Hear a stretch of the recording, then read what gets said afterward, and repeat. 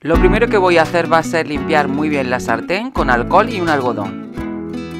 Una vez que haya secado, voy a aplicarle la primera capa de imprimación. Estoy utilizando gesso. Cuando haya secado esta capa, voy a pintar por dentro de blanco y de verde por fuera. El mango lo voy a pintar con pintura metalizada en color oro. Sobre un cartón voy a aplicar pegamento y lo voy a dejar secar.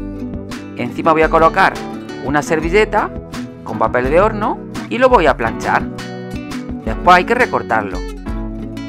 Mientras tanto voy a hacer unos lunares en el interior de la sartén. En el centro voy a pegar el círculo que hemos recortado y ahora toca proteger con barniz.